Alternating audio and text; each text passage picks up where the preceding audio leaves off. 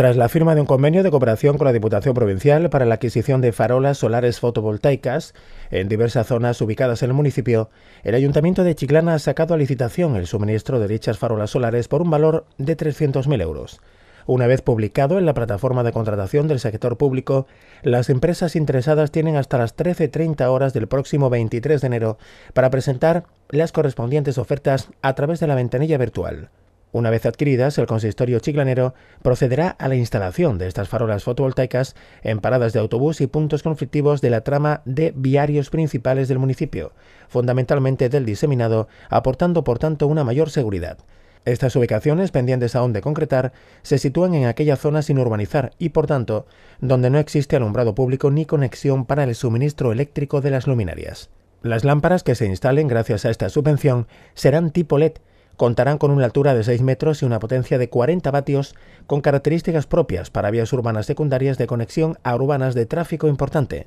así como vías de acceso a zonas residenciales y fincas. El objetivo es que estas farolas puedan ponerse en cruces de caminos y paradas de autobús en la zona del diseminado, así como en espacios que puedan suponer un riesgo para la circulación, de forma que se pueda incorporar una mayor seguridad para las personas, según ha destacado la delegada de Vías y Obras, María Ángeles Martínez.